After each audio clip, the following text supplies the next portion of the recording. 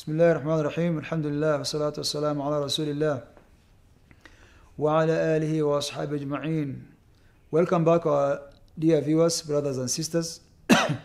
we were mentioning about, uh, uh, we are continuing with our episodes uh, about the significance and importance that are found in the first 10 days of the month of Dhul Hijjah. Uh, and also to uh, brothers and sisters in Islam, uh, these also are the days that Prophet Musa alayhi fasted.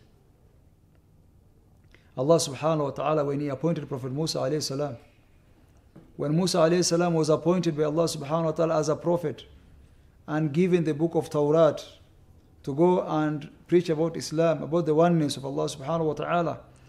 Uh, before that, Musa alayhi was told to fast, was told for, to fast for 40 days.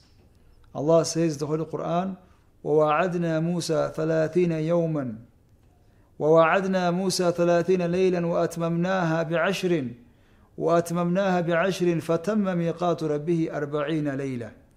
We told Musa عليه السلام to fast 30 days ثلاثين ليلة. We told Musa عليه السلام to fast 30 days.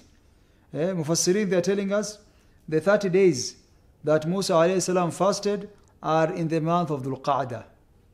the month of Dhul Qada, 11th month, among the sacred month of the Islamic calendar.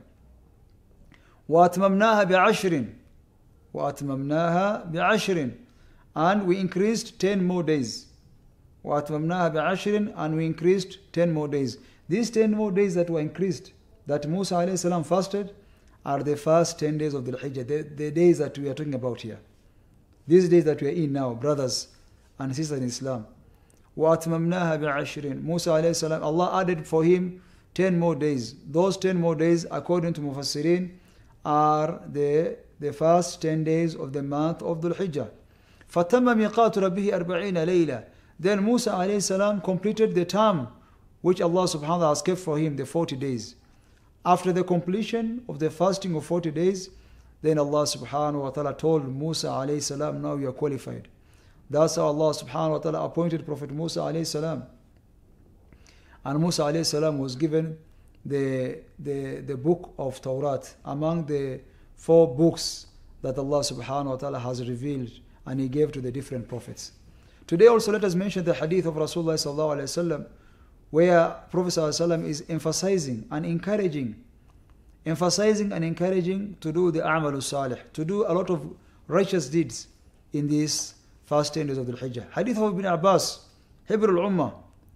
Hadith of Ibn Abbas, uh, he was given the nickname, he was nicknamed Hebrew Ummah, the ink of the Ummah. Ink of the Ummah means the skull of the Ummah.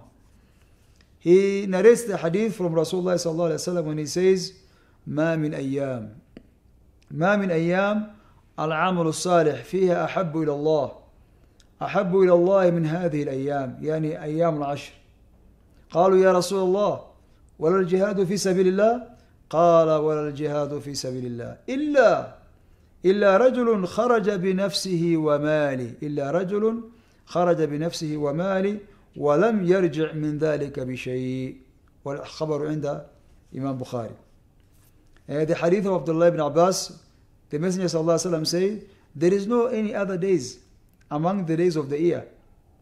Eh, than these days that the righteous deeds are more emphasized.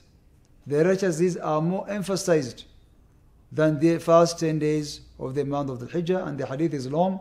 Inshallah, in the coming program, in the coming episode, inshallah, I'm going to complete the hadith and also share with the viewers uh, the significance of this hadith. سبحانك اللهم وبحمدك نشهد ان لا اله الا انت نستغفرك ونتوب اليك